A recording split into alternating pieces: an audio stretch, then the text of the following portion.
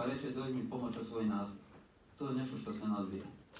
Međutim, kao i svi, ono što reče, nema kuće bez problema, e, s određenim problemima ja sam ušao u, u, u hajdučku obitelj sa određenim osobnim problemima ili obiteljskim, kako god hoćete, međutim u tom trenutku kad je Hajduk onda Zdravo. Evo, sa Zoom pres konferencije. Hvala vam.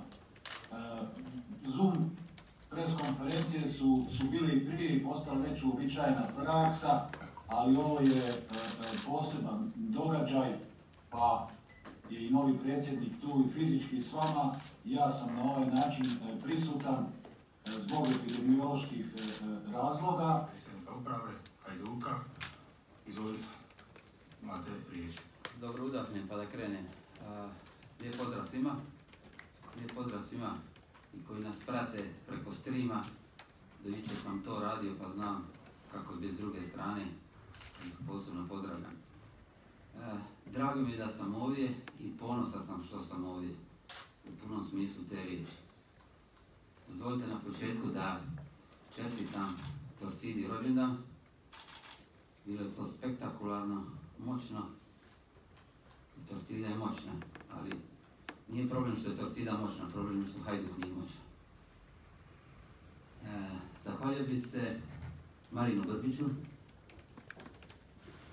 i kao predsjedniku i kao prijatelju, a shvatit ćete zašto to iz razloga što mi ipak on uveo u ovaj svijet ili prepoznao ili vidio ili što već, doveo me, nisam dugo trajao, ali, ali je ta neka poveznica u stvari i me i dovela ovdje na ovo mjesto.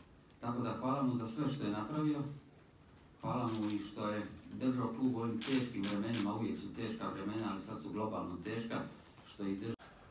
Ali sam osjetio i na kraju da je vjerovao u mene od samog početka. E, malo ću taksativno nabrojiti da vam je lakše i vama, a i meni. I ne samo da pošaljem poruke, nego da i vi, a i svi drugi shvatite kako ja to doživljavam i kakav Hajduk želim. Prvo ću reći zašto sam otišao.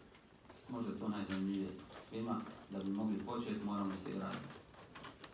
Kao što znate, predsjednik Marin Brbić me zvao da mu dođem pomoć o svoj nastup. I to je meni bio trigger. Prvo kad te zove predsjednik Hajduka, tu ne možeš biti. A još kad te zove da mu pomogneš,